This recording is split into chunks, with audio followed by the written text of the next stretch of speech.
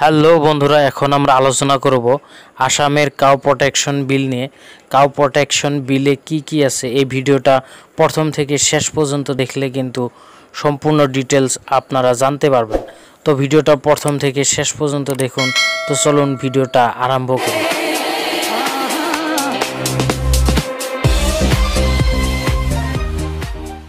এখন আমরা বলব যে আসামের cow protection bill two thousand twenty ওয়ানে উল্লেখ থাকা কিছু আর্টিকেলের কথা। তার ভিতরে, হিন্দু, জৈন, শিখ আদি ধর্মের মানুষ যে অঞ্চলে বসবাস করবে, সেই অঞ্চলের মন্দির বা সত্তরের পাঁচ কিলোমিটার এরিয়ার ভিতরে কেউ গরু কাটতে এবং গরুর মাংস বিক্রি করতে পারবে না, কুরবানির ক্ষেত্রেও আসতে পারে বাধা।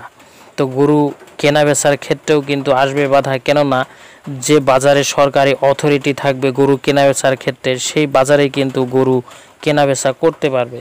তো তারপর ব্যবসা বাণিজ্যর ক্ষেত্রেও আসবে বাধা। কেননা, আপনি যদি গরু আসাম থেকে অন্য জায়গায় নিতে চান বা এক জায়গায় থেকে অন্য জায়গায় নিতে চাইলে সরকার, লাগবে সরকারি পারমিট এবং সরকারি বিজনেস লাইসেন্স তারপর কেউ যদি গরু অ্যাক্সিডেন্ট করে মারে, তার ক্ষেত্রেও কিন্তু কিন্তু সরকারে নেবে আইনগত ব্যবস্থা।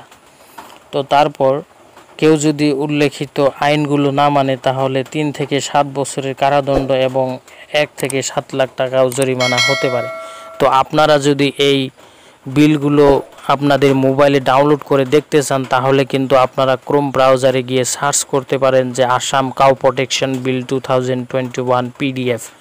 লিখে যখনই সার্চ করে দেবেন, সার্চ করার পরে কিন্তু আমার ভিডিওতে মোবাইল স্ক্রিনের মাধ্যমে যে আপনারা বিলগুলো দেখতে পাচ্ছেন এইভাবে কিন্তু আপনারা ডাউনলোড করে আপনাদের মোবাইলে দেখতে পারবেন। তো এই ছিল আজকের ভিডিও।